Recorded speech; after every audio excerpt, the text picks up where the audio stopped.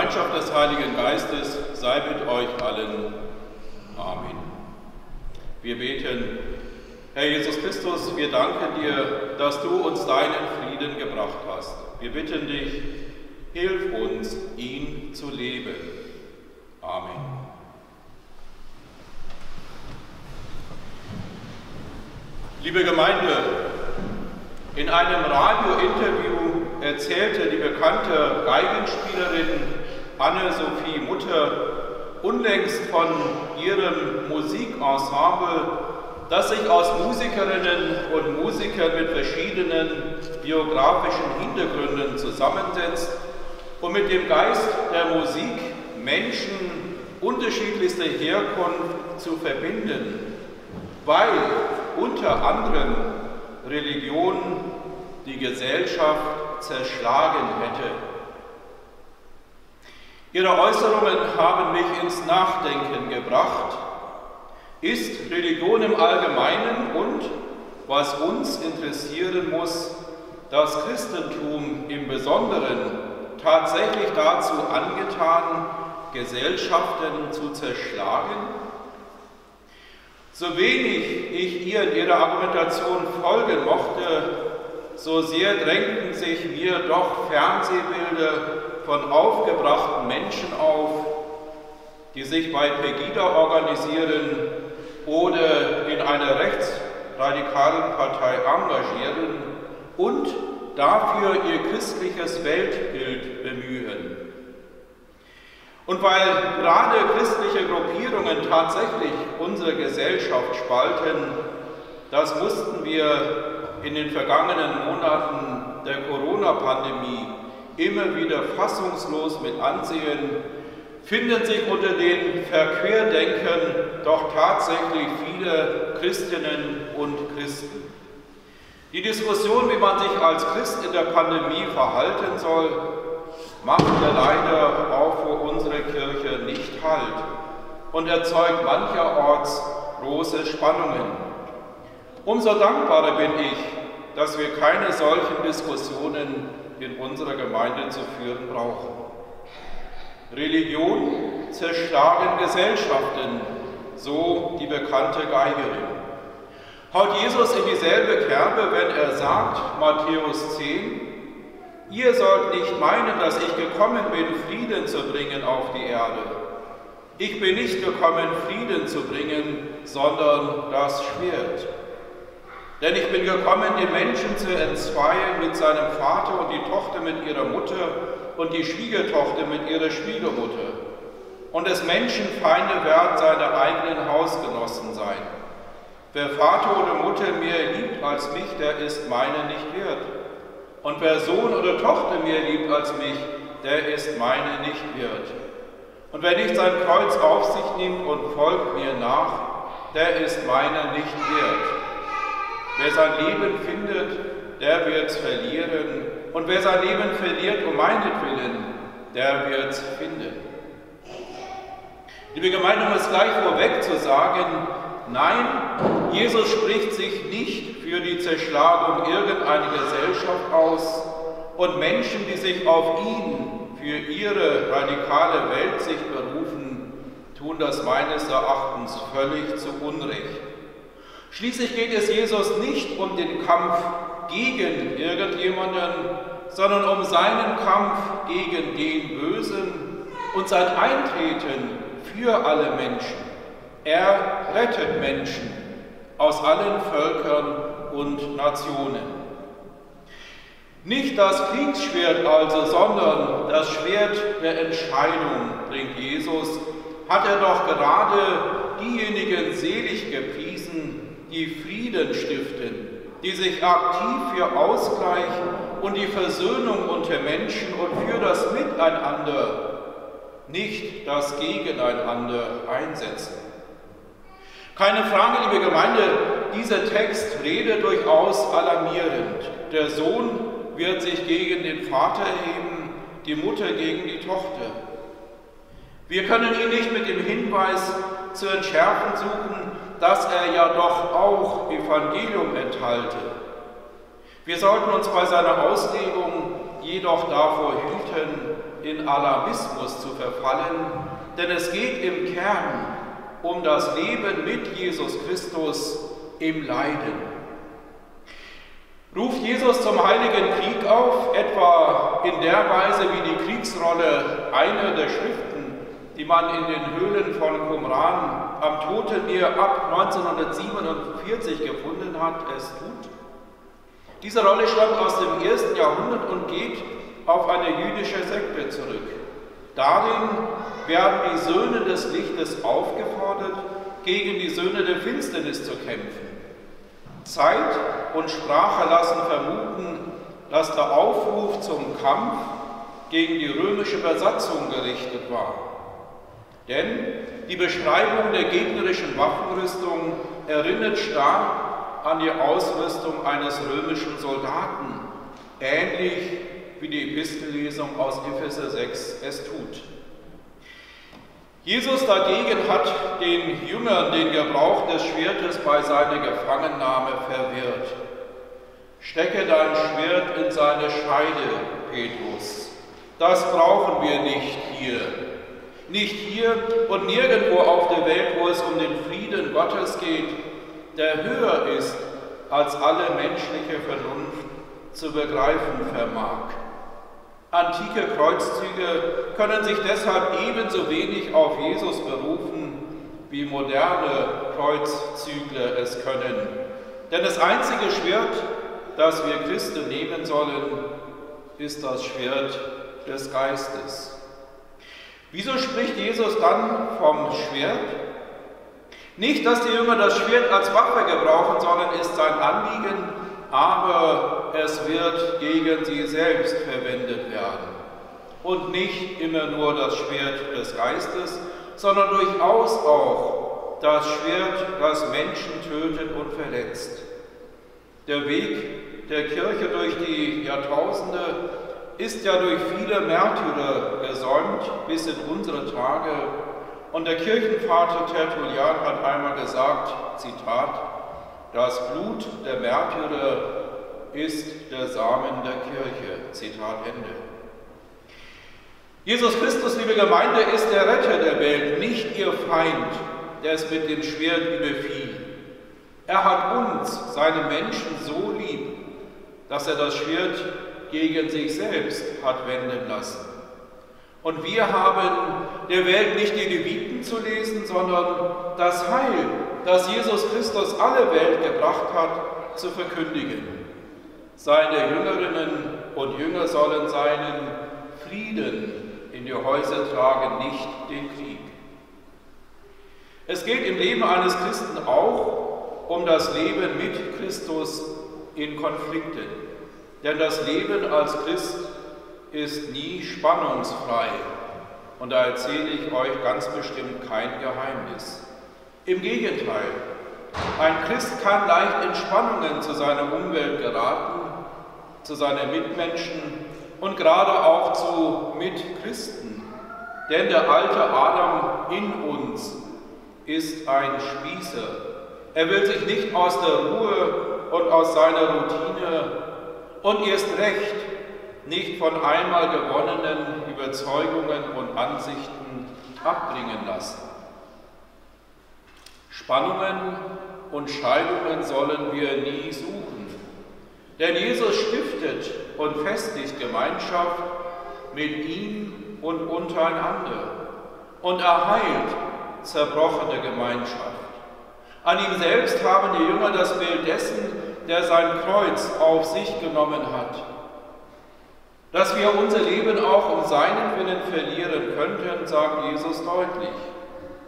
Wir brauchen das Martyrium dennoch nicht zu suchen oder uns danach zu drängen. Das wäre falsch verstandene Nachfolge. Zerschlagen Religionen Gesellschaften?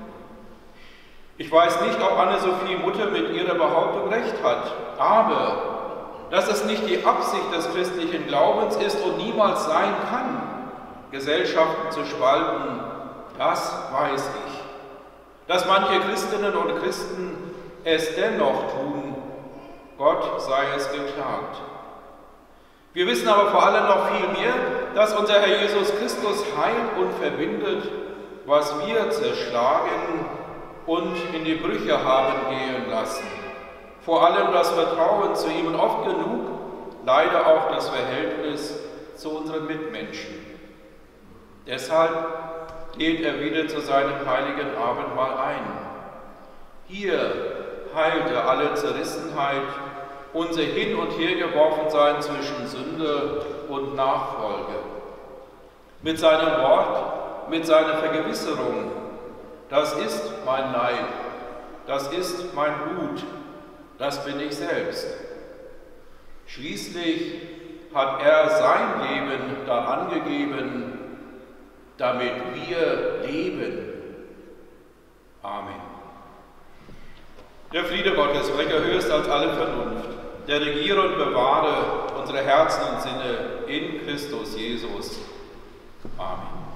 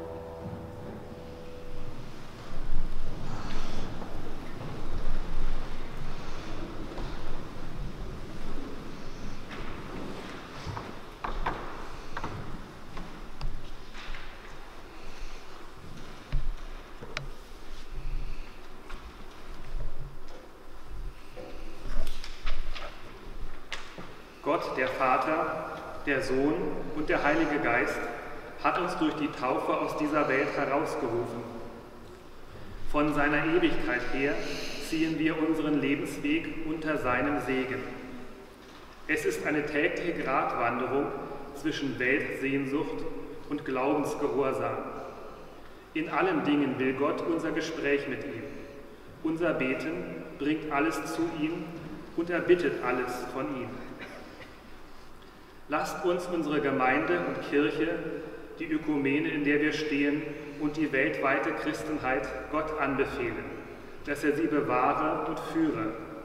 Lasst uns für alle Christen bitten, dass wir uns seiner Liebe trösten und der Welt freudig Zeugnis davon geben. Lasst uns zum Herrn rufen. Herr, erbarme dich. Lasst uns unsere Sorgen über Krieg und Frieden, über Eigennutz und Gerechtigkeit, über Umweltzerstörung und Bewahrung der Schöpfung Gott klagen. Lasst uns Gott bitten, dass sein Herrschaftsbereich in unserem Leben und im Leben aller Christen aufblühe und er so den Menschen ein lebenswertes Leben ermögliche. Lasst uns zum Herrn rufen. Herr, erbarme. Lasst uns die vielen Menschen, die unter den verschiedenen Lasten des Lebens und Sterbens leiden und verzweifeln, vor Gott bringen. Lasst uns Gott bitten, dass wir ihm Werkzeuge sind, mit denen er unseren Mitmenschen hilft, dass er das Leid lindere und das Sterben abkürze, dass er die Hoffnung auf seine Erlösung und den Glauben an seine Liebe wachsen lasse. Lasst uns den Herrn anrufen. Herr, erbarme dich. Allmächtiger Gott und Vater, so rufen wir zu dir und legen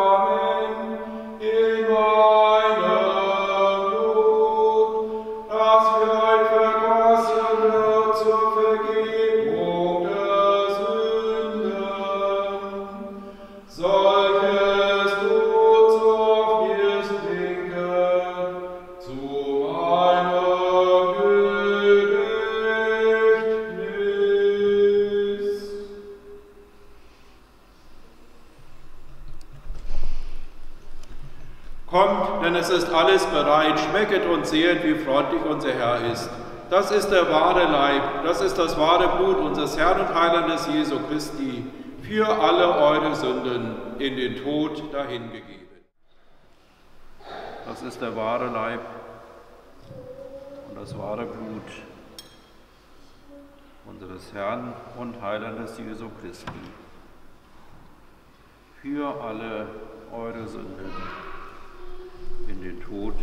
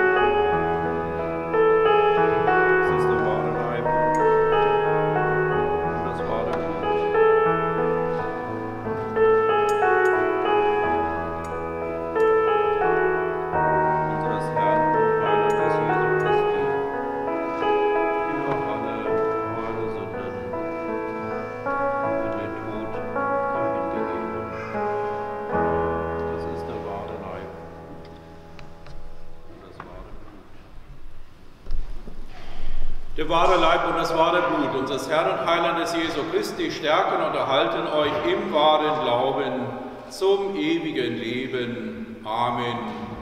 Friede sei mit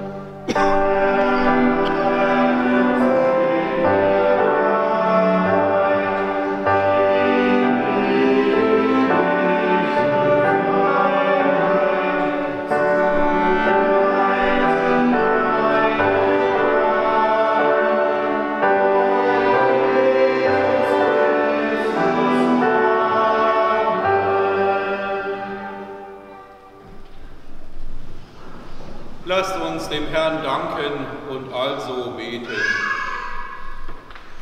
Verleih uns, o Herr, dass die Ohren, die deinen Lobpreis gehört haben, verschlossen seien für die Stimme des Streites und Unfriedens, dass die Augen, die deine große Liebe gesehen haben, auf deine selige Hoffnung schauen, dass die Zungen, die dein Lob gesungen haben, hinfort die Wahrheit bezeugen, dass die Füße, die in deinen Vorhöfen